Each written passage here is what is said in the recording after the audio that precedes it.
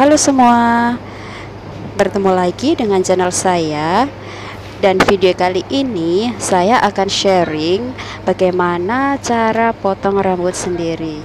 So, jangan lupa tonton sampai habis ya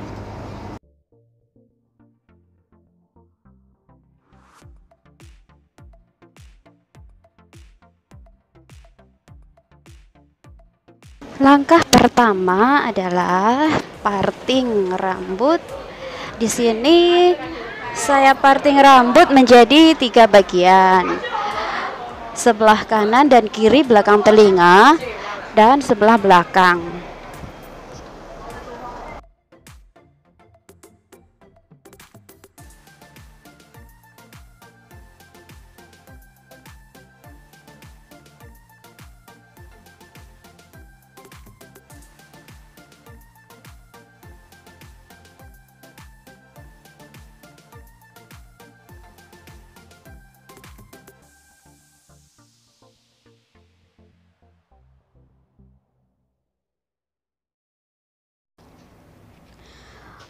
Oke guys, kita mulai untuk memotong rambut yaitu dengan cara kita potong yang bagian belakang sebagai patokan.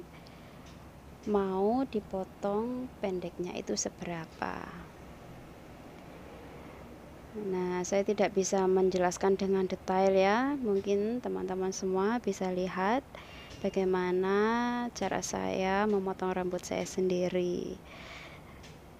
Tentunya saya akui sangat sulit bila kita memotong rambut pendek ya. Tapi kalau kita itu ingin bisa, maka kita harus berani untuk memulai, benar nggak?